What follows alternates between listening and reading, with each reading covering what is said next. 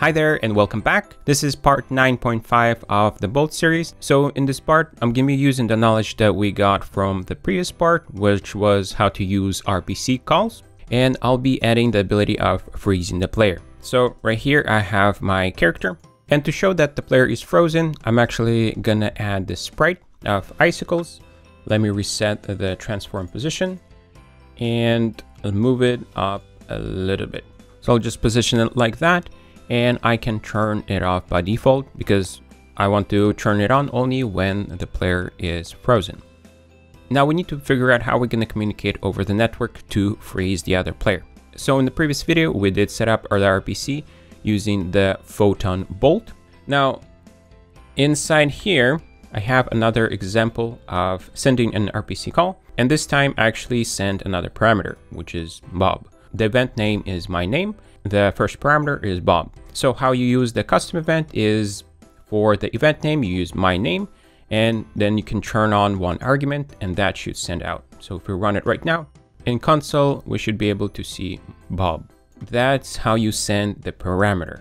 Now, if you followed along with all the series, by this time you probably know what to do next and how to use this to freeze your player. So you can do that on your own. And if you want to see how I do it, I'll walk you through it.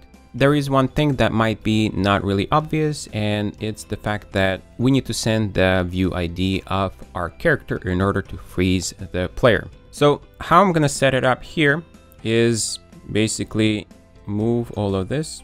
I'm not gonna be using say hi. So let's move it all down here and I'm gonna create a custom event here.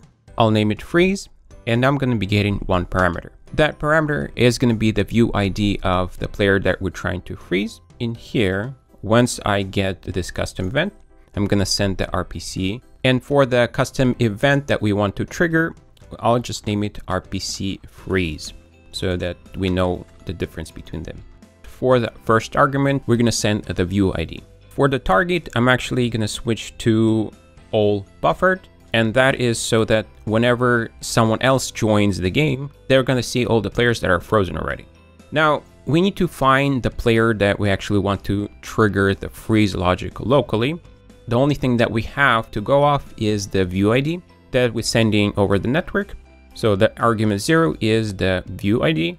And we do have an option of finding a photon view by using the view ID. So we're going to pull that up using the argument that we receive, we pass it in as a view ID and try to find the photon view component that has that view ID. From this component, we can get the game object and on this game object, we can trigger a custom event. And the custom event, I'll just name it freeze as well.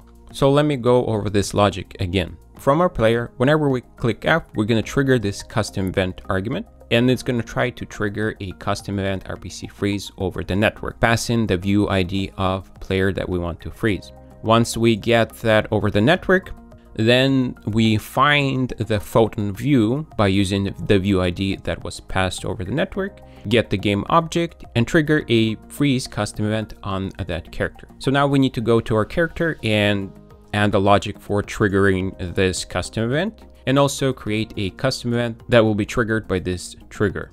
So let's go and find our character, add a graph.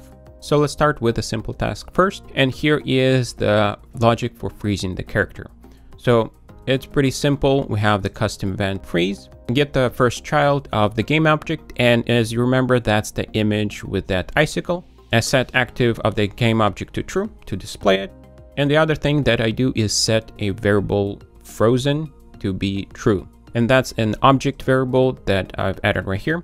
By default, it's false. So one of the places where this frozen is being used is right here.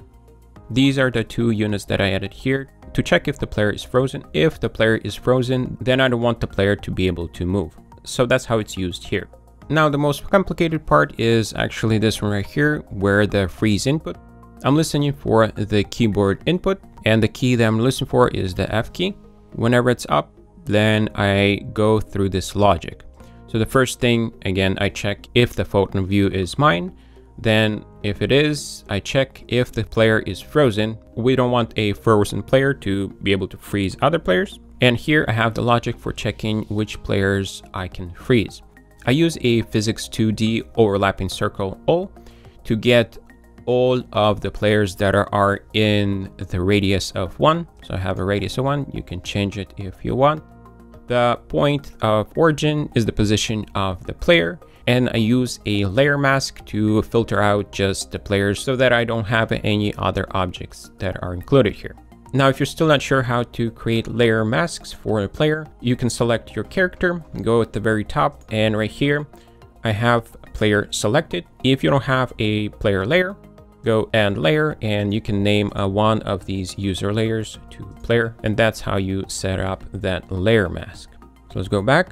The output from the overlapping circle all is actually an array or a list of collider 2D. So I use a for each loop to go through all of them. Now there's a couple checks that I do to determine if this player is actually freezable or not. And the first check is to compare the game object and make sure that it's not my own, so I don't accidentally freeze myself.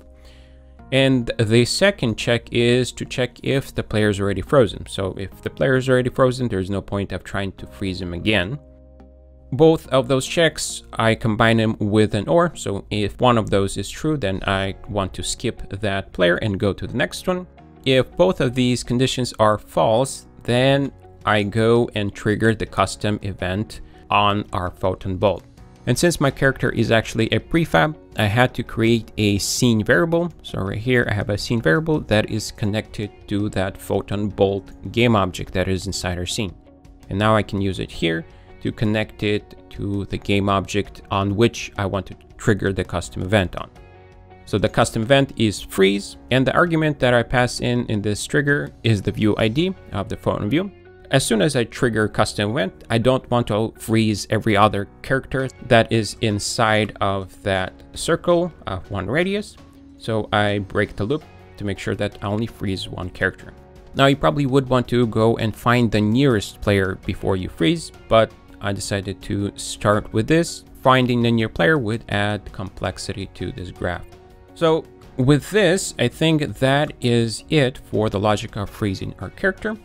We can uh, now build and run it and test out, make sure that it's working like we expect. So here is our first player. Now let's launch our second player. There it is. Okay, both of them are working, everything seems fine, and now let's try to freeze our character.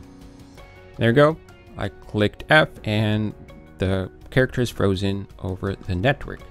I can't move the character anymore and I can't click F to freeze the other character. Let's add another player. And this one should see that one of the players is actually frozen. And here we go. It sees that that player is frozen. If I click F, I can freeze the other character. And there you go. Now we've added the ability of freezing the player over the network. Thanks for watching. If you have any questions, write in the comments. Click on the like button if you found the video useful, and I'll see you in the next video.